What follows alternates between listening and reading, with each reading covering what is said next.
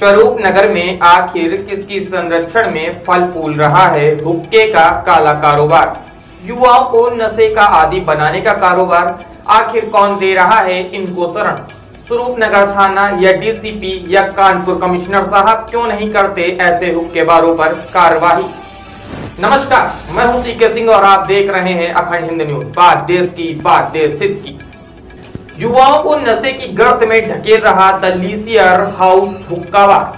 देश में धूम्रपान पर सार्वजनिक प्रतिबंध के बाद से होटलों रेस्टोरेंट समेत अन्य सार्वजनिक स्थलों पर अलग से स्मोकिंग जोन बनाने का नियम था। पर कानपुर में द लीशियर हाउस रेस्टोरेंट इस नियम की आड़ में हुक्का बार चला रहा है। यह धंधा पूरी तरह अवैध है, परंतु प्रशासन इससे बेपरवाह बना हुआ है। वहीं स्वरूप नगर क्षेत्र में रोज नए नए नशे के ठिकाने बन रहे हैं।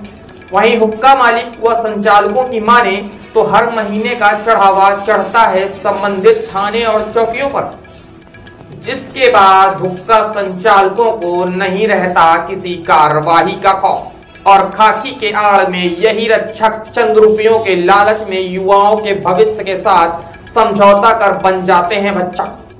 पिछले एक दो साल में शहर में बड़ी संख्या में हुक्का बार संचालित होने लगे हैं। सूत्र बताते हैं कि दालीसियर हाउस में धड़ल्ले से चलाया जा रहा है हुक्का बार नाबालिग युवक युवतियों को नशे का लती बनाए जाने का काम हो रहा है। दलीसियर हाउस में हुक्का बार में फ्लेवर्ड हुक्के की आड़ में तंबाकू और अन्य नशीले पदार्थ मिलाकर पिलाया जा रहा है। इससे युवा, लड़के, लड़कियाँ नशे की लत के शिकार हो रहे हैं।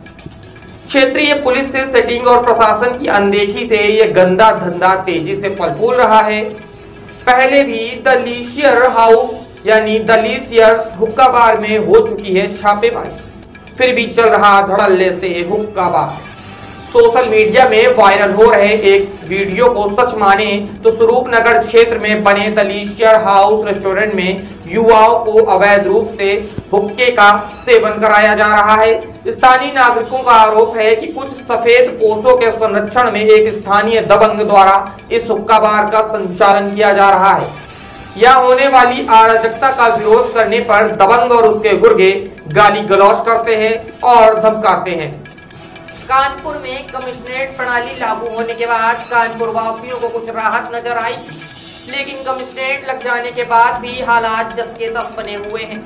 इन हुक्का संचालक को नहीं है, कोई भी डर। बीते दिनों खाद्य सुरक्षा एवं औषधि प्रशासन विभाग की टीम ने सख्ती बरती थी, पर इसके बाद भी कानपुर ज़िले में हुक्का बार धड़ल्ले से संचालित हो रहे हैं।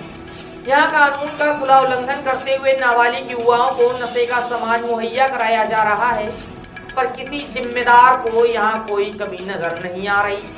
आखिर कब होगी इस दलीशियर हाउस के बार पर कार्रवाई? या पहले की तरह इस बार भी जू नहीं रहेंगे प्रशासन के कानों में। या चंद रुपयों के लालच से यूँ ही होता रहेगा युवाओं के भविष्य का चौथ अब देखना यह है कि कानपुर की कमिश्नरेट पुलिस या स्वरूप नगर थाना इस पर कार्रवाई करता भी है या फिर से चलेगा सेटिंग गेटिंग का खेल।